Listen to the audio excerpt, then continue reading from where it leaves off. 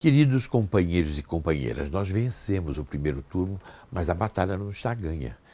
Então é fundamental que a nossa militância saia para as ruas, tentando esclarecer a população de que esse processo todo da mídia, essas acusações que estão sendo feitas a partir dos depoimentos é, feitos a partir da delação premiada, sejam, vamos dizer, minimizadas e que as pessoas possam ter consciência de que não é a primeira vez que isso acontece.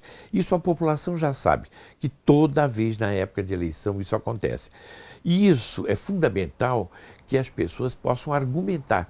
E eu acho que a militância aí tem um papel fundamental.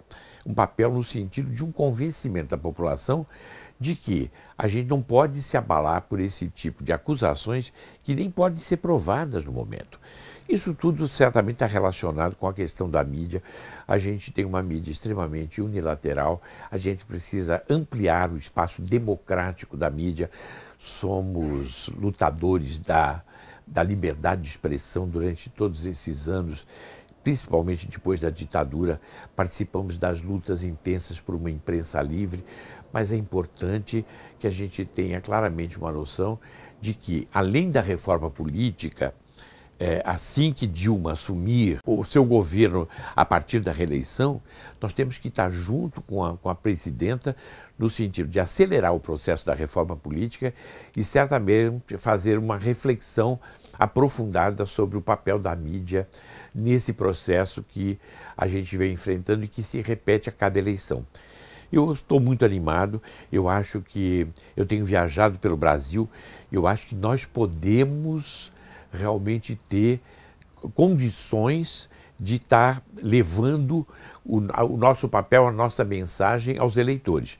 Mas isso vai depender da nossa firmeza, da nossa.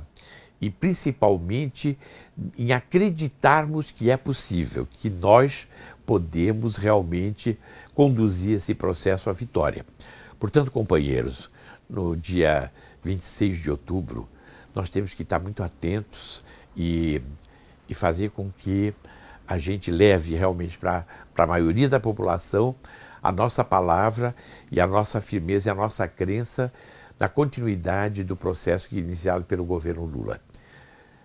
Dia 26 de outubro, não deixe de votar na nossa presidenta e fazer com que o seu vizinho, o seu amigo, e até aquelas pessoas que você acha que não têm condições de acreditar nesse processo de transformação, possam realmente mudar o seu voto e a gente conduzir a nossa presidência, a, a nossa presidenta à vitória mais uma vez. A luta, companheiros.